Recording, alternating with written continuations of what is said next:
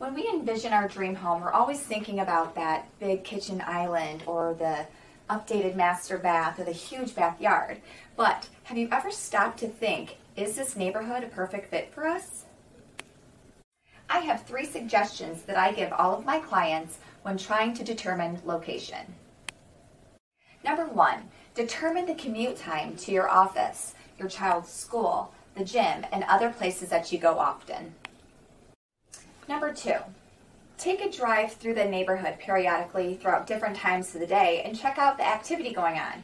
Check out the neighbors that are outside and see if maybe you can picture yourself there. Number three, it's totally normal to wonder about crime rates when moving into a new neighborhood, but it's up to you to do the research. I can get you started with a tool that aggregates crime rates in certain localities. Every neighborhood is likely to have both benefits and drawbacks, but only you know what is most important to you.